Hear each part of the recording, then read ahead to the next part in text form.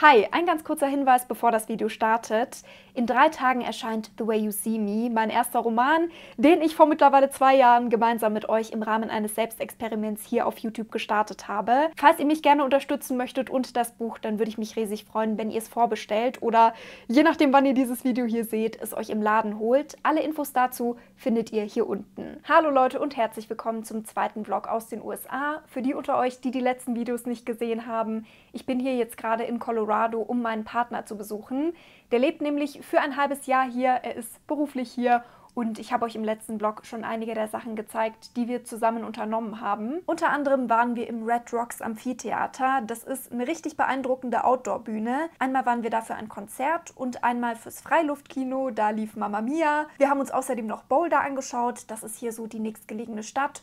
Und wir waren dort auf dem Farmers Market und beim Shakespeare Festival. Und dieses Wochenende wollen wir jetzt gerne in den Rocky Mountain National Park. Vielleicht erinnert ihr euch ja noch daran, dass der letzte Vlog damit geendet hat, dass das Thema Tickets so ein bisschen herausfordernd ist. Also man kann jetzt nicht einfach spontan sagen, so, wir fahren jetzt in den Nationalpark am Wochenende, sondern man muss davor eben so einen Zeitslot buchen. Und diese Zeitslots sind derart gefragt, dass es wirklich teilweise Monate im Voraus schon ausgebucht ist. Das Gute ist aber zumindest, dass die immer am Vorabend um exakt 17 Uhr so ein Restkontingent an Tickets freischalten.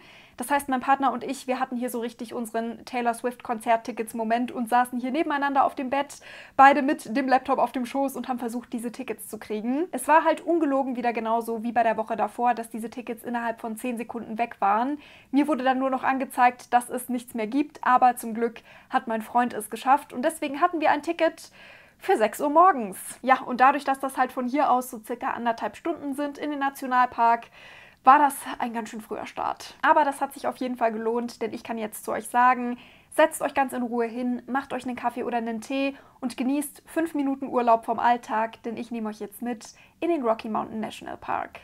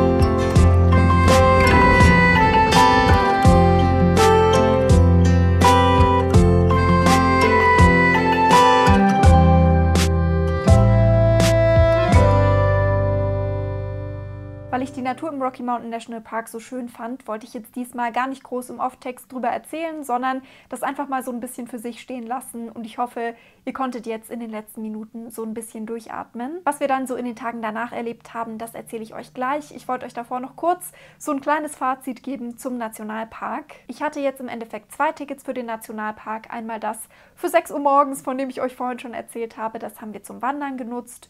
Und dann einmal noch eins, das ich schon vor zwei Monaten gebucht habe für 14 Uhr und das war jetzt trotzdem noch ausreichend, um diese Panoramastraße zu machen. Ich fand die Natur im Nationalpark wirklich sehr, sehr schön und beeindruckend. Aber ich muss dazu sagen, dass das Wandern dort wirklich unglaublich anstrengend ist. Also mein Partner und ich, wir waren jetzt schon in mehreren Ländern wandern, in Deutschland natürlich vor allem jetzt, seitdem wir in München wohnen, dann in Slowenien, in Schweden, in Italien, in Frankreich. Also wir haben schon einige Wanderwege gesehen, mit denen wir das so ein bisschen vergleichen können. Und das Interessante hier war, dass die Wanderung an sich gar nicht mal so anstrengend wirkt. Also so verglichen mit den anderen Wanderungen, die wir gemacht haben, war das ungefähr so ein ähnlicher Bereich. Ja, mit dem ganz minimalen Unterschied, dass der Großteil dieses Wanderwegs auf über 3000 Metern Höhe Höhe liegt. Das bedeutet, dass der Sauerstoffgehalt in der Luft dort um einiges niedriger ist und das habe ich beim Wandern wirklich sehr deutlich gemerkt. Besonders krass war dieses Gefühl am höchsten Punkt der Panoramastraße, also von diesem Alpine Visitor Center aus führt noch so ein kleiner Weg nach oben,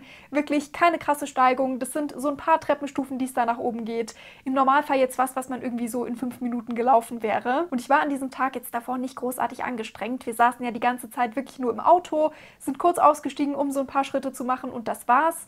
Und das war dann eben die erste Steigung, die wir hatten. Und auf dem Weg nach oben zu diesem Aussichtspunkt dachte ich echt, ich werde nicht mehr. Also ich hatte solches Herzrasen. Ich habe richtig gemerkt, dass ich viel, viel mehr Luft holen muss. Und dann habe ich eben das Schild gelesen, auf dem stand, dass es da auf 3700 Metern Höhe eben 30 bis 40 Prozent weniger Sauerstoffgehalt in der Luft hat. Und das war eben dann am nächsten Tag auch beim Wandern die große Herausforderung, dass ich super schlecht einschätzen konnte, ob ich das jetzt schaffe oder nicht. Also ich musste ganz viele Pausen machen und habe dann so einen Weg vor mir gesehen, bei dem ich mir dachte, das sieht überhaupt nicht krass aus. Im Normalfall kriege ich das doch hin. Warum ist das gerade so anstrengend? Ihr könnt euch wahrscheinlich vorstellen, wie stolz ich dann war, als ich es wirklich am Ende bis zum Ende der Wanderung hoch zu Sky Pond geschafft habe. Ich habe zu meinem Partner zwischendurch gesagt, du, ich glaube, ich schaffe das vielleicht gerade mal so zu dem ersten Wasserfall, der irgendwie so nach einer halben Stunde auf dieser Strecke kommt. Aber wir haben dann echt sechs Stunden Wanderung durchgezogen. Übrigens noch so ein kleiner Funfact zum Rocky Mountain National Park. Vielleicht kennt ihr ja auch die Green Valley Buchreihe von Lily Lucas. Die spielt da in dieser Gegend und es gibt eben auch einen Band, in dem sind sie wandern und campen im Rocky Mountain National Park.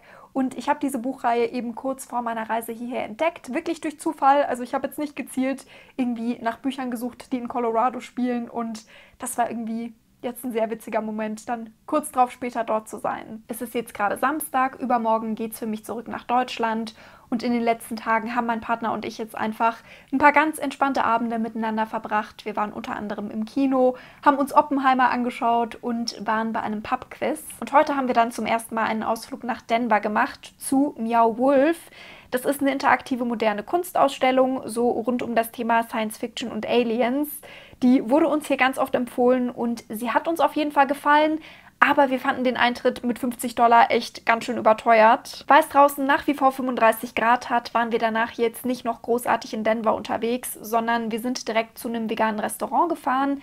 Da gab es dann panierten Blumenkohl mit Pommes und Mac and Cheese. Also so ein bisschen eine wilde Kombination, aber es war auf jeden Fall sehr lecker und morgen haben wir dann unseren letzten gemeinsamen Ausflug hier geplant. Für diesen Ausflug ging es für uns in Richtung Colorado Springs und weil uns die 3700 Meter im Rocky Mountain National Park nicht hoch genug waren, haben wir nochmal so ein paar hundert draufgelegt. Pikes Peak ist nämlich 4300 Meter hoch.